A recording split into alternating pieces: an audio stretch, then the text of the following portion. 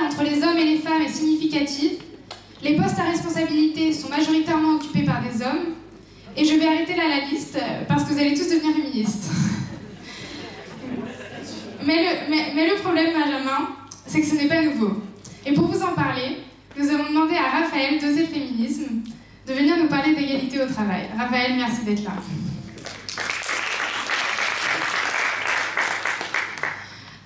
Raphaël, je vais éviter de te poser la question comment ça se fait qu'en 2016, autant de différences existent encore entre les hommes et les femmes dans le monde du travail Mais tu admettras que ça, que ça interroge. Vous êtes mobilisés contre le projet de loi El Khomri. On a entendu parler de l'article 2 et de l'inversion des normes, de l'augmentation des plafonds de la durée de travail maximale ou de l'instauration des plafonds d'indemnité prud'homale, mais nous n'avons pas forcément fait le lien avec l'impact direct pour les femmes. Mais en quoi les femmes seront, le plus, euh, seront plus touchées par la nouvelle loi travail Vaste question, euh, à peu près pour tout. Euh, mais avant, je vais refaire un petit compliment aux, jeunes écologistes. C'est un peu notre soirée. C'est que- En fait, c'est le moyen le plus facile de se faire applaudir. Mais le vrai compliment, c'est qu'on s'est quand même beaucoup, beaucoup, beaucoup croisés euh, cette année, que ce soit dans la mobilisation contre la loi de travail, contre l'état d'urgence. Et on a tous fait ça pendant des heures en réunion. Euh, même si là vous explosez tous les records en termes de réunion quand même.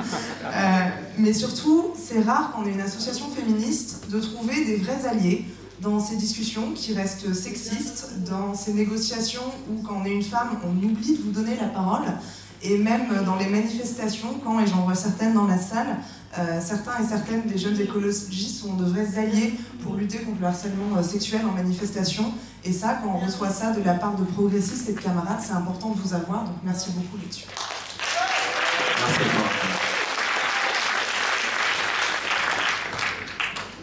Euh, comment les femmes vont être les plus touchées sur euh, les conséquences de la loi travail?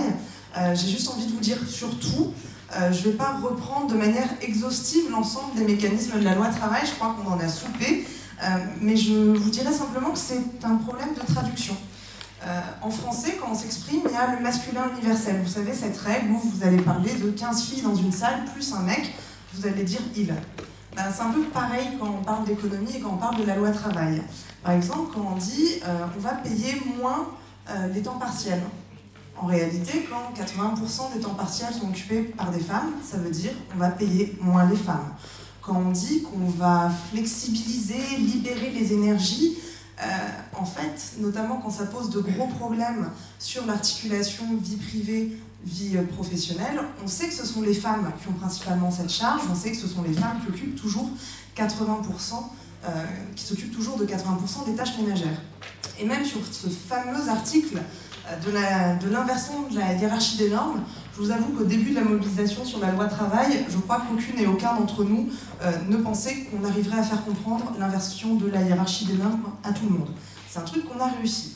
Mais il reste de la traduction à faire, à savoir que l'inversion de la hiérarchie des normes, c'est particulièrement dangereux dans les très petites et les PME, dans les très petites entreprises et dans les PME.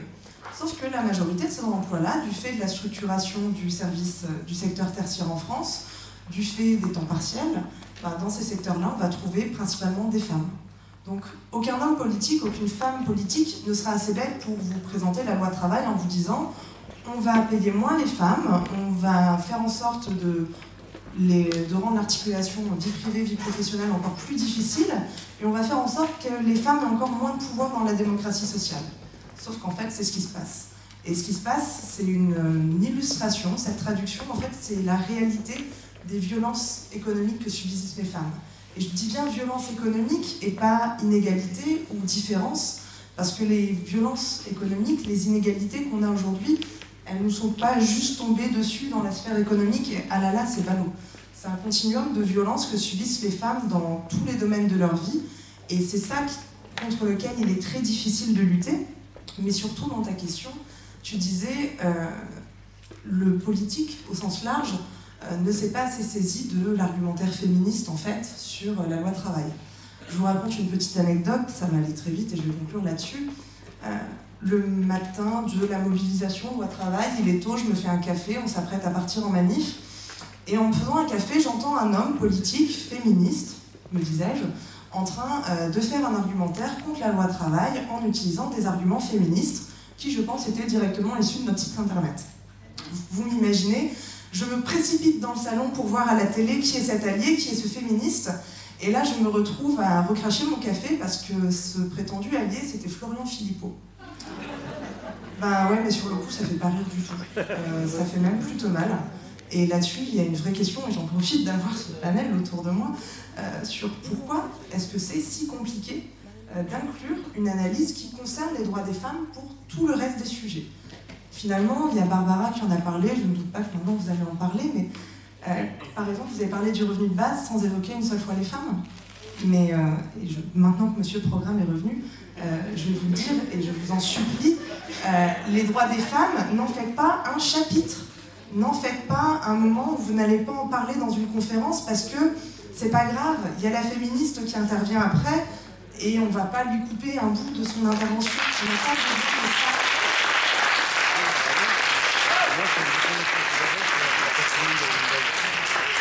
Merci, mais non merci, puisque de toute façon, vous pouvez parler des droits des femmes en permanence. Je vous assure qu'on trouvera d'autres choses à raconter.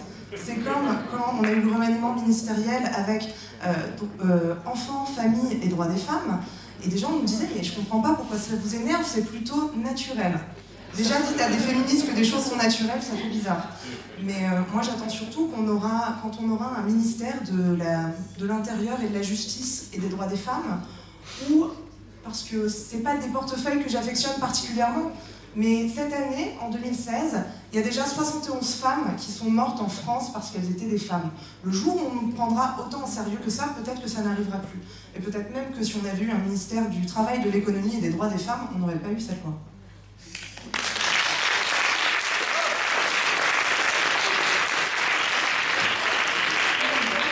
On a parlé d'une loi toute pourrie sortie du chapeau d'un gouvernement libéral, mais demain, quelles seraient les mesures phares d'un gouvernement de gauche qui devrait, enfin, les, quelles sont les mesures qu'un gouvernement de gauche devrait forcément appliquer? Alors là, j'aime bien parce qu'on ne pose pas souvent la question. Donc autant c'était un peu compliqué à préparer, autant ce que tu me demandes en fait, c'est qu'est-ce qui se passe si demain les féministes sont au pouvoir? C'est un peu le cauchemar d'Éric Zemmour et d'Eugénie Bastier. Ils pensent être déjà dedans, euh, ils croient qu'on tire déjà toutes les ficelles. Je pense qu'on peut continuer à leur faire peur et leur montrer que non, ce serait pire. Euh, déjà, on s'entend, pire pour eux, mieux pour nous. Euh, donc je ne vais pas faire un nous présidente, on est plutôt pour la sixième aussi, mais en tout cas, si on était au pouvoir, il y a des choses que je dois rappeler de base avant de passer à la loi travail. Euh, la PMA, j'attends toujours. La parité comme une exigence démocratique, ça, vous le comprenez et vous le faites très bien. Un ministère plein et entier, avec des moyens, parce que sans faire rien. Euh, et un truc que je ne pensais pas avoir à répéter en 2016, mais euh, si les féministes sont au pouvoir, si la gauche est au pouvoir, il n'y a plus d'agresseurs dans un gouvernement. Bélé dégage, Satan dégage,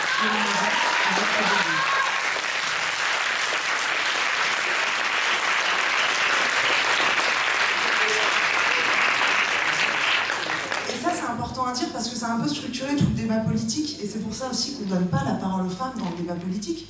C'est qu'on a voulu nous faire croire qu'il était possible d'être un agresseur dans sa vie privée, mais quand même d'être un bon homme politique par ailleurs. Donc je reviens du boulot, moi, mec, content de ma journée en tant que parlementaire, en tant que ministre, avec la conscience du devoir bien accompli. Ensuite, je peux redevenir agresseur dans l'intime. Soyons clairs, ça n'existe pas. Un agresseur de femmes est un agresseur des femmes, est un agresseur politique, et on ne peut plus les tolérer si on veut avoir des politiques féministes.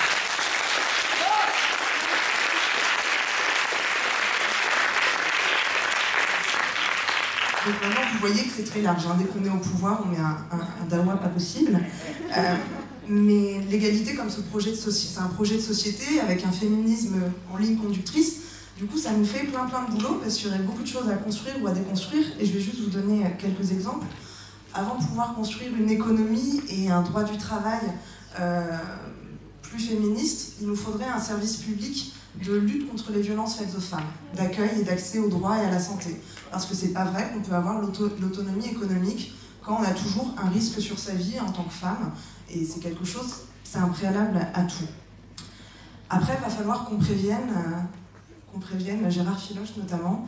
Il va falloir qu'on mette l'écriture épicène dans tout le code du travail et plus compliqué à faire. Mais surtout, plus sérieusement, il va falloir sortir l'artillerie lourde.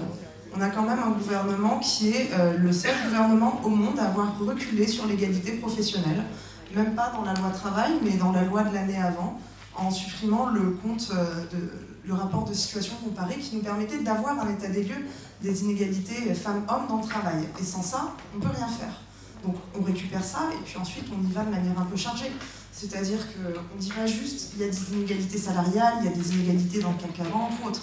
On y va avec des contraintes et des contraintes très contraignantes, des contraintes financières. Vous, en tant qu'écologiste, vous vous êtes battu pour avoir des critères sur les marchés de respect des normes environnementales quand est-ce que le respect dû aux personnes que sont les femmes et cette moitié d'humanité euh, seront des critères pour ne pas financer des entreprises, pour ne pas financer des marchés qui sont violents vis-à-vis des femmes?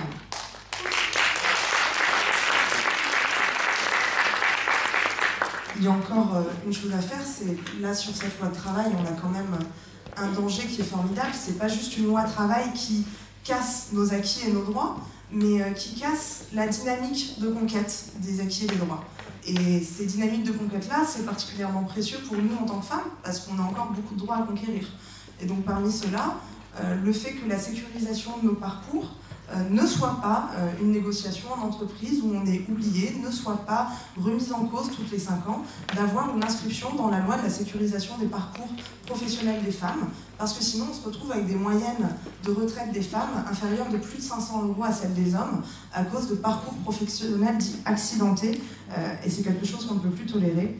De même que finalement, un projet de loi féministe, un projet de loi travail féministe, d'économie féministe, en fait, il faudrait que je vous parle de beaucoup d'autres choses. Quelqu'un, quelqu'une disait tout à l'heure, quelqu'un, euh, il faudrait une réforme fiscale, parce que euh, notre système fiscal est basé sur le foyer, la famille, l'enfant. Bah, en fait, notre système fiscal, il est simplement patriarcal. Euh, il fait de la femme un salaire d'appoint en permanence, des, désincitations à travailler, et quand on essaye de conquérir des droits, on nous dit déjà, vous avez, on vous a accordé le privilège de bosser. Ou alors, moi, euh, les féministes tunisiennes avec qui on parle beaucoup en ce moment, vous dirais qu'il faut aussi euh, aller vers euh, des réformes féministes de l'héritage. Tout ça pour dire qu'en fait, construire une loi travail féministe, c'est c'est trop gros. en fait, on a d'abord besoin de déconstruire quelques siècles de code civil, de code du travail pour pouvoir les reposer sur de bonnes bases. Mais en tout cas, vous inquiétez pas, quand vous, vous aurez vos programmes et vos prises de position là-dessus, on sera là gentiment à souffler à votre oreille les endroits à féminister, et puis on, vous le dira aussi parfois très très fort avec des mégaphones en manif.